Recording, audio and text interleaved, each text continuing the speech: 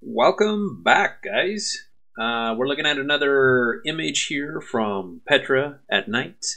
Uh, it's actually the Canyonland uh, before you get into the treasury and into Petra. So it's the cliffs that kind of squirrel and snake their way all the way to the treasury here. Um, but I figured we'd take a, a, another look at a previous image that we did before. Was this one here? Um, and now we're just going to do a couple more, uh, kind of the same night scheme. Um, I figured these uh, would go good together as, as kind of a collection um, that we're editing. Maybe not that one, you gross. Maybe this one. But uh, for now, let's let's kind of look at this one here. Let's just focus on this one. Um, so again, with uh, myself, I just kind of like like to look around real quick, make sure um, I know what I'm dealing with at first. Some of the areas that I might want to focus. Lunch bag. There's that damn lunch bag again, sitting in there. So we'll get rid of that. Trash can. Get rid of the trash can. Um, it's kind of weird, right? It looks like it's about to tip over. Uh, and I can't remember if that was, you know, that was all the trash cans in this canyon, or if it's just this one random one that looks like it's going to fall over. Anyways,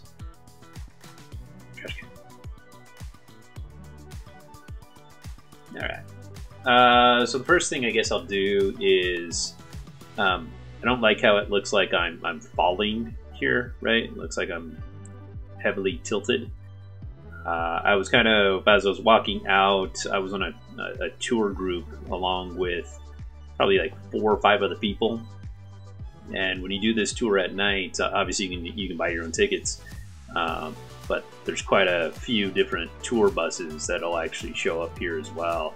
Um, so I was like one of the last ones of, I don't know, 100 people, 150 people that showed up to this night show where they light up the canyon and uh, the treasury.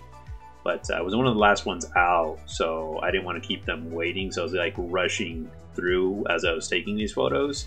So I had my little tripod out and um, I was just kind of walking fast, walking fast. I, I, would see an angle and I would just plop down real quick on a knee and take the photo. So um, I don't know if it was just like on an angle here in this pathway or whatnot, but either way, it, it feels like everything's tilting, right? So I'm gonna kind of level it out. Just kind of looking down here.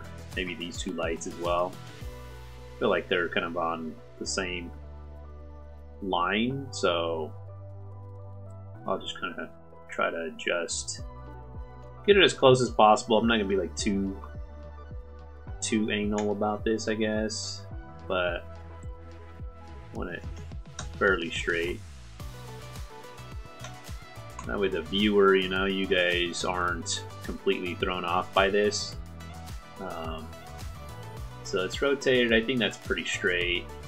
I try to drag these out as much as possible, show as much as I can. Um, just kind of a, a feeling, really. I kind of like seeing that light in the corner, but at the same time, if I'm going to cut this light out, then it might be even if I just leave those two. So maybe I cut that off. And then show a little bit more up top. I don't want it too skinny, right? Because then that's kind of a, a weird aspect ratio. Center is kind of here. Ideally, this should sit a little lower, I guess, but I think we're we're kind of close enough. I guess I can crop it up just a little and have those lights sit right on the ground there.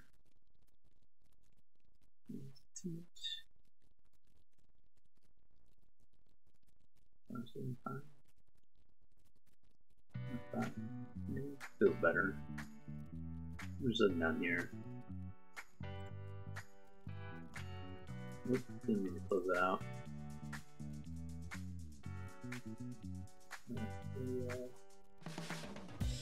Get it up just a little bit here. It's all the way up. That feels better. Yeah. It doesn't look like you're tilted and you're like drunk walking your way out of this canyon. I mean, it was late. I was getting a little tired, but definitely wasn't tripping and falling all over myself. I had a bright light, anyways. Okay. So, with me, I always like to try to take the, the highlights down. Um, directly affects this up here and these these uh, candles down here. So, take that down. I don't want to take down too much. I'm going to reintroduce some of it with the, the whites anyways. Shadows, kind of like to see more detail in there, so I'll bring that up. All the way. Mm, that might be too much. The shadows too much, you start introducing a, a ton of grain here. It's a little annoying to get rid of as well, so I don't like going, one, um, all the way up on shadows if I can stand it. Uh, really 70. If I can type 70. Good. I'll bring the whites out. Try not to blow this out too much right here. These are going to be white specks anyways, but it is what it is. I don't. Uh, last thing I want to go is like that. You know, that's so just a little bit. That's gonna have some bright highlights on it anyway. So 15, maybe 20. Better. It also brings it up here a little bit too. So if I did like a 30, you can kind of see it on that ridge there. But you know, I don't want to do too much. I can always kind of dodge that later if I wanted to. Like a 25. Uh, blacks it probably won't touch because then it's just gonna like do that weird contrast darkening thing. So that's not gonna work for what I'm looking for. Um, deep dehaze, a little bit. You know, it's always nice to give it just kind of like a little skosh, little skosh clarity, I don't really get it into too much. You know, it gives that like weird contrast of the, the brights and the darks. That just doesn't look natural at all. I suppose you can give it a little bit, just to kind of give it like that little little bump there. Um, but always very sparingly with that. Texture too, you know, you can you can go too much to where it looks like this weird bump map, and that doesn't look natural almost like makes it look dirty, right?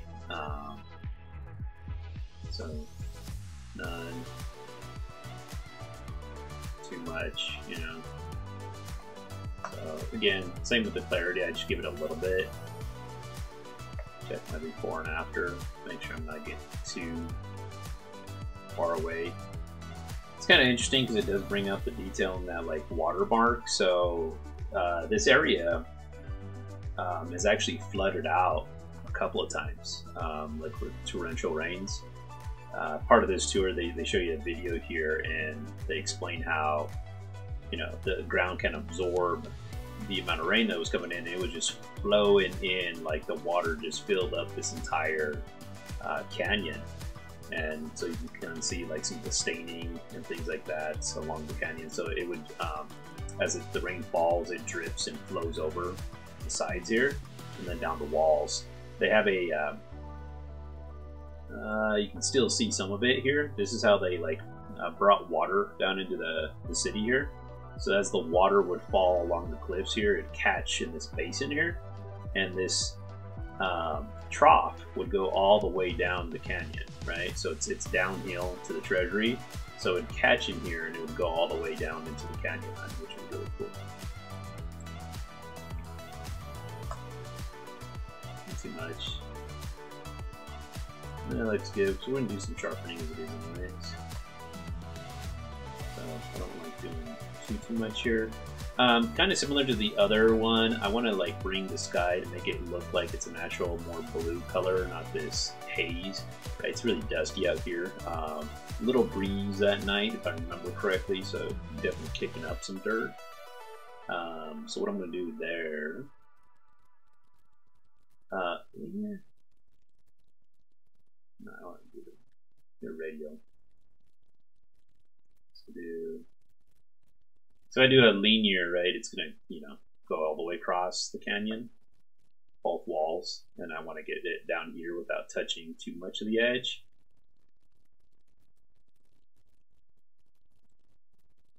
There's stretched out. It's fine if it kind of like sinks in there a little bit. So the light is kind of bouncing, you know. Then I'll take the temperature down. Just reintroduce like bluish hint of color up here. And it, it's fine because it's it touches the tops of the canyon, if you can see that. But I think that's fine. It doesn't draw too much attention to it. Um, it looks natural. And higher up, you're not going to get as much of this lighting anyway. So, plus, give it a little nice little pop, little contrast. We get the nice warm oranges down here, yellows, and blues up here. I think it's what we'll go with there. Close. Okay. Um, you know, there's there's all kinds of things you can do in, in Lightroom. Um, I'm pretty straightforward with it. I don't think there's anything else I want to adjust here, at least at this point in time. Um, okay, so I'd like to go down here. Um, I usually take the sharpening off completely. Uh, I don't like sharpening in Lightroom uh, just because I am going to take it to Photoshop. Uh, I use a tool from Learn to, to do that. But uh, the, the, grain in here, a little bit of the grain. I'll take the luminance up just a little bit. Again, I want to go too much because then it gets milky in here. Uh, so 50 definitely too much. 20 introduces that a little bit back into it. 25 color stuff to help get rid of some of these in here.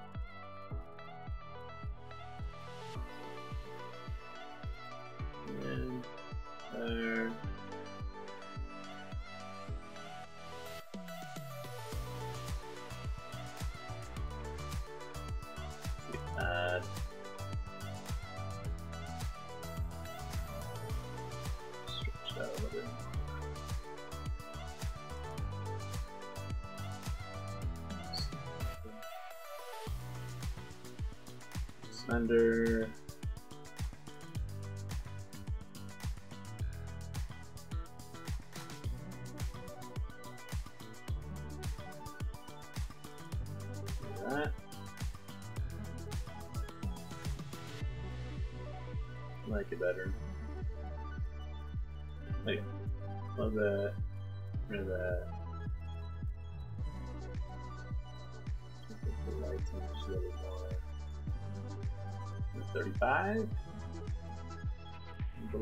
Too much. But um, kind of like how that draws the attention up there a little bit. So I might do is just another radial. Just kind of reintroduce the uh, the light up here. To fade. I'm just give it a little exposure here, not too much. A 0.6. More after.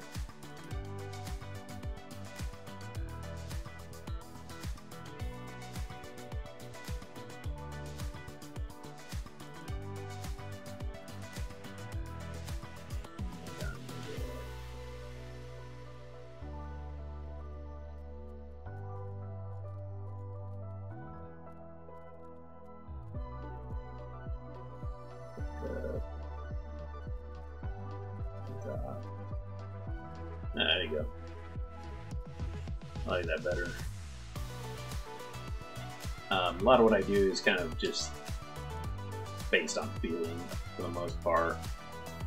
They say how that kind of like highlight, and I'll, I'll dodge that again, maybe just bring it out a little bit more. But I kind of like how you can see that through the, the kind of crevice here.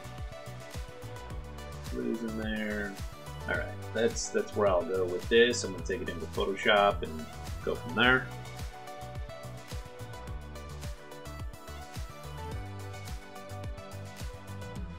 Always interesting seeing the uh, little thumbnail picture that they put on Photoshop every time it opens up.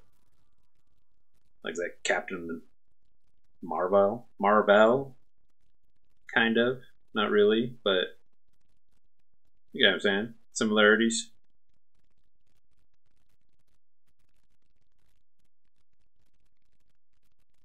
Come on. Right.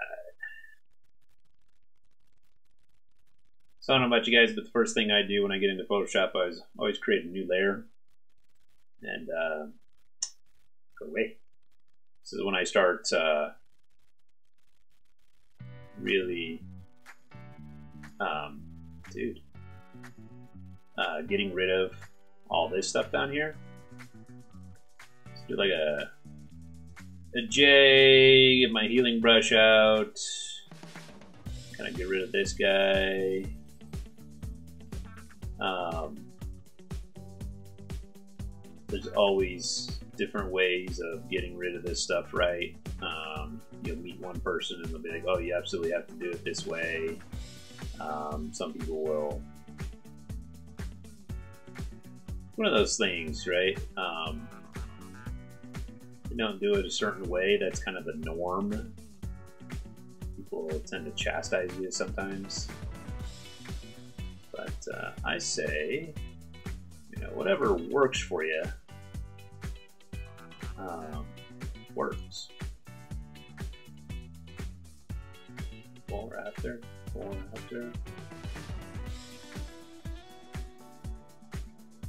And what uh, it's all about, like anything that you're making adjustments for, um, special effects or anything, right? It's like, what does it matter if it's the method that you use as long as it works, right?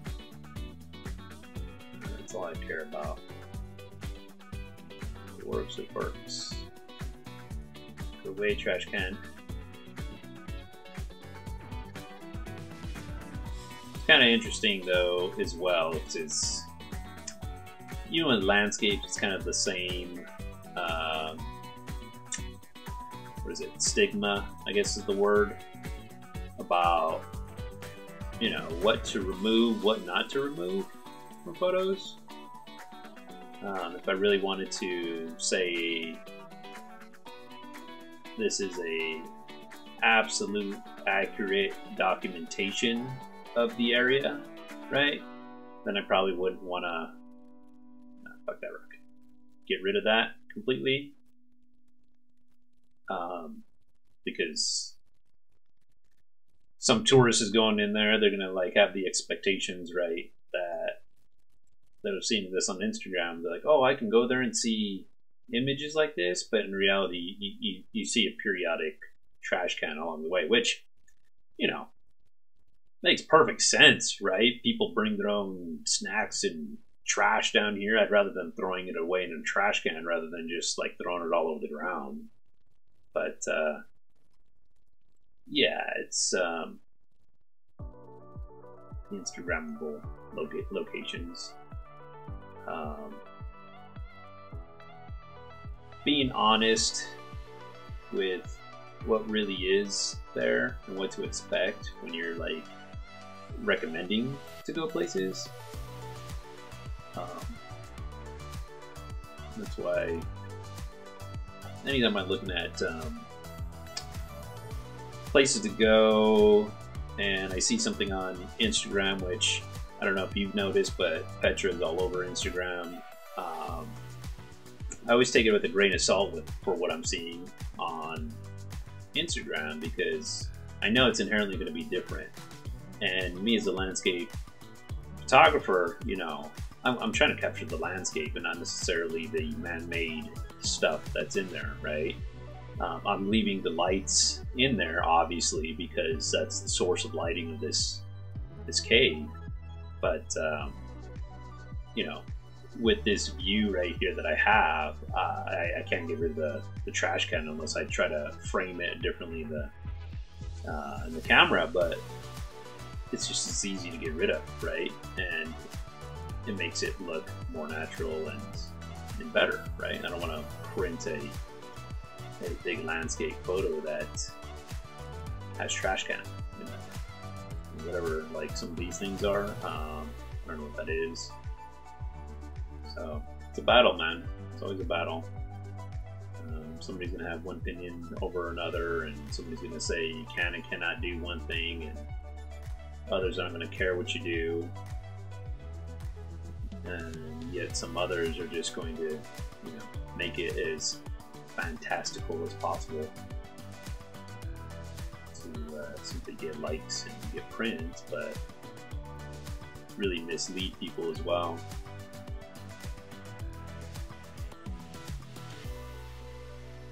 Don't like all that Photoshop. That look, that look doesn't look real.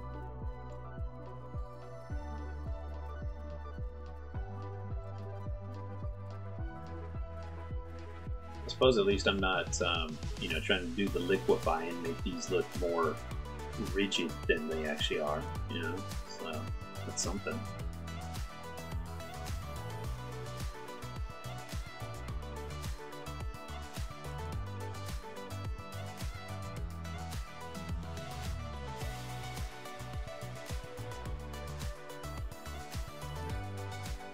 Maybe that's a comparison we should do, like anybody that has to a similar location, has similar shots. Um, especially in Petra, you know, they're gonna have like shots of the treasury, some of them maybe the monastery. Um, see the comparisons between uh, photographers and what they adjust, what they don't adjust, right? Um, are they adding more color effects? Are they adding detail into the photo that you may not see no, I never really took the time to investigate that like comparison one to one to my photos. I just look at other people's photos and it's oh that's nice, oh that's cool. How do they do that? How do they get that angle? Things like that, you know, not necessarily is that real, is it not real? I guess you notice it more in people though.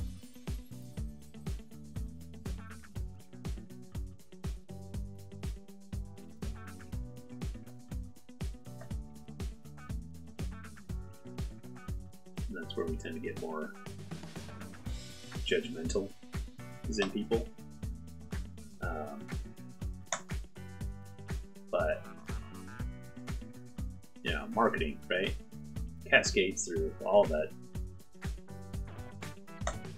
making things look better than they actually are. And again, this goes to back to what I was talking about before. It's like in my mind, my own, I mind. Um, this is what I see, right? So when I'm taking a photo in the moment, uh, I may see it a certain way. I know my camera is going to see it in a different way. And I'm just trying to bridge the two gaps, right? So I might see when I'm taking the photo, oh yeah, I can get this color, I can get uh, the dark blue in the sky, um, and that's what I might see in, in my mind. My camera is going to capture, uh, you know, closer to this, or rather, back in uh, Lightroom, the original.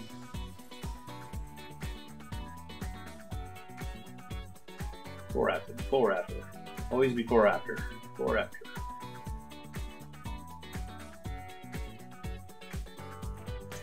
Um, and add a vibrance to this as well. Because I want to like see what it looks like up top, which that gets ridiculous. Okay, that sucks. You know, sometimes you try some stuff, sometimes it works, sometimes it doesn't work. Yeah, maybe we'll with that. Fuck it, just go with it.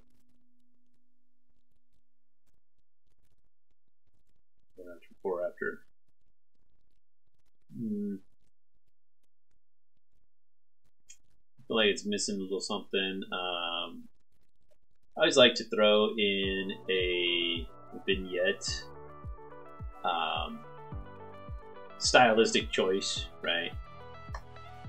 Some people hate vignettes, some others do. Um, I do with the curve, but I feel like I want to bring more focus down into further into the canyon here, kind of on that cliff in the background. So I'm gonna like try to darken a little bit of the edges if I can. Not so much down here because of the lights, but it's kind of nice because it blocks them out. So, what that be? Triple.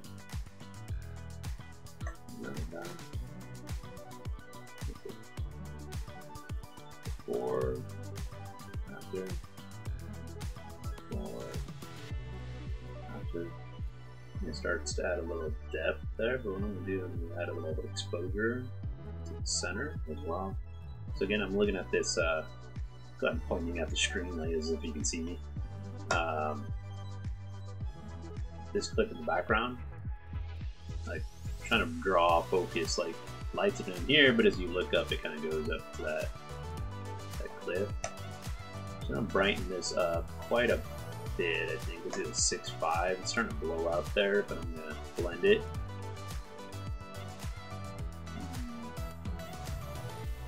That's the same mask, but I'm going to invert it. Maybe that's too much. Uh, we'll do this. Maybe. Tap, tap, tap and invert it. So the rest is darker, but that kind of center area brightens up a little bit. That, maybe. Okay. And, um, before, after, before, after. Sort of feel the depth a little bit. I'm gonna try something um, you know, I, I always like trying a little different things. You duplicate that layer a little bit. And then I'm add a blur gallery. I'm gonna do a tilt shift on this. Again, I'm just trying to like draw focus to the center here. Right here. And keep uh, these here. So all this be in focus, and then I'm going to defocus kind of the outside edges here a little bit. A blur on the outside. That. So it's hard to tell initially. But if I do before, after, so like focus here, here, before, after, before, after, before. You can kind of see it in the light. But I think that gives it just a little bit to where you're like drawn to the center here. Makes it feel deeper, you know? Um, and actually, what we could do as well, let me just go back. I go back here, and I do that same uh, filter tilt shift. So what I could do is make it even longer and make it very small focus in focus area, right? So pristine in focus is back here and then it fades out, right? So out of focus and starts fading into focus all the way down. So maybe that's our full on focus is right here. Edge. Maybe I'll do that same 25. Well then. And before, after, before, after. Kind of like it. Yeah, see it's like drawing this all the way in here. So not only do you have the lights down here pointing up, but then here it's like you look on the edges, it's out of focus, but you want to look at the sharp details down in the middle. Bam, bam, bam, bam. Staring, staring down the abyss here. Alright. So then what I'll do is I will sharpen the center here. So I'm going to zoom in 100%. Just kind of focus on what's going on in the cliffs here. This area here. My super duper splurn, uh, uh, splurn, flurn sharpening technique. I change that to soft light. Um, and I'm just focusing on the little details here. Again, you want to go to like just the edge where it's like too much. Um, so I'll do a couple of layers. Third layer, kind of increase the radius of that. Make a little broader stroke. Do it again. Uh, maybe one more time, but I'll do uh, an even larger stroke on this one. That's cool. I like to group these together and then before, after, before, after. And I might do another 1.5 just to see. Does. Maybe another one here. Again, we'll see how far we can take it without going too far. I think that's about it right there might ask about this grain. I'm actually not too concerned about it. Again, it like I'm zoomed in, so you might see it, but I'm not like overly concerned about it. I don't think it's going to detract from that photo too much. It's all you're feeling, right? It's kind of your once you get out of the real world and you start getting into the editing process here, it's like it's kind of what you feel is right, and I like that. So, or after for after. And just to make sure I don't accidentally sharpen anything on the edges where I did blur it, what I'm going to do is just add a mask here. And actually, you know, I'll just use my brush it. Do like a black here, straight down and black straight down. That way the inside stays completely sharp and in focus here. There we go. Bam, bam, bam, bam. Okay, uh, last thing on the same copy, I'm gonna do a little dodge. Little dodge, just bring out some slight more details. There we go. Boom, boom over the lights here. Make the pathway seem just a little brighter. And then same with like this details and the rocks here. Right, right, right, right, right.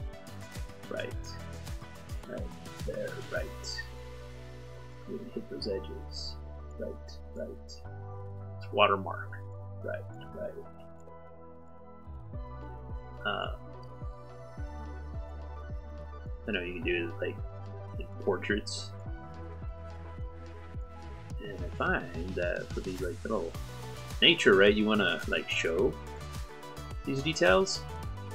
Details is what makes nature cool and which is kind of ironic because you know portraits were all like, oh, get rid of all these imperfections, and nature like, oh, look at these these imperfections. Yeah.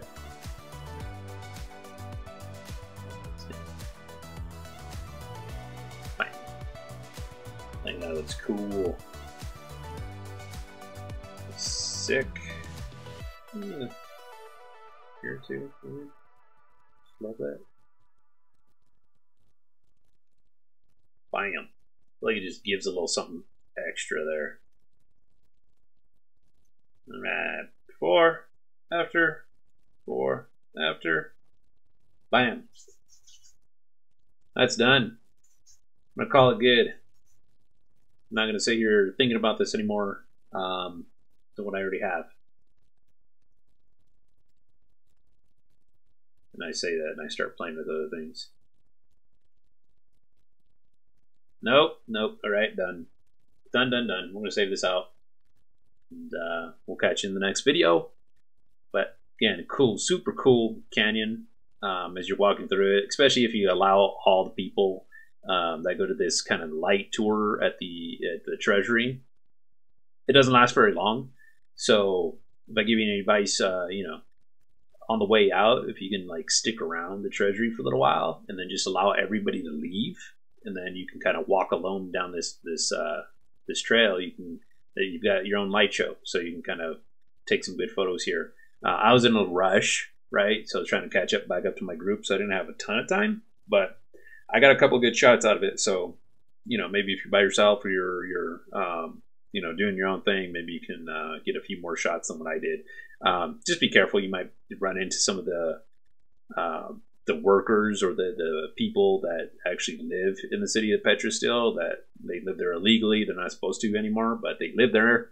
Um, they might approach you asking you to take photos or um, throw you up on their Instagram or what have you. But uh, some of them are a little little sketch, but just be wary of that. Um, but yeah, super cool.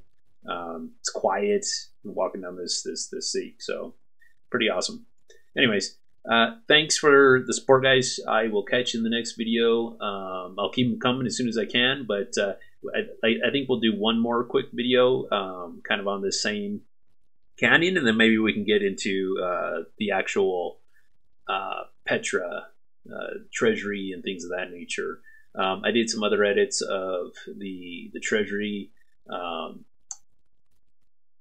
probably a few nights ago, I guess last or a, a week ago, um, and I didn't do any videos on those. And you know, but we'll, we'll get some actual shots of the the treasury and and and not night tour. But the night tour is cool if you actually go. Um, everything's lit up. The treasury's all lit up. You'll see some photos come out on my Instagram and things like that of the the, the night um, of treasury. But um, I will say that it's cool lit up, but the show is is kind of lame. So go in there with kind of low expectations. Um, it's not like a concert at night, and they don't do like this grand light show or anything like that. It's just everything's lit up. You can walk down there, um, and then they do like a little um, kind of like vocalizing, I guess. Uh, it only lasts for like 10 minutes. This whole show only lasts for like 10, maybe 15 minutes at most. And then they kick everybody out and they tell you to go home. um, so it's like they're eager to get you in there. And then you got a couple of the workers that are like, oh, yeah, come upstairs, come to the, um, the cliff above. And of course, you know, they're like, I know a secret way. I know a secret way. It's not that secret. It's just around the corner. Um, but they're they'll guide you up there for a fee. Um, at night, they tend to get ridiculous with it. I think they were trying to like sell me on like fifty. Uh, uh, was it rupees? Not rupees. Um, Jordanian dollars. Um, they were trying to get like fifty Jordanian dollars out of me, which was ridiculous. During the day, they'll do it for the ten. Um, and I decided against it. I ended up hiking the uh, the cliffs the next day to get the upper view, anyways. But uh, I'm rambling, guys, so I'll let you go. I'll see you in the next video. Thanks a lot, guys. Take it easy.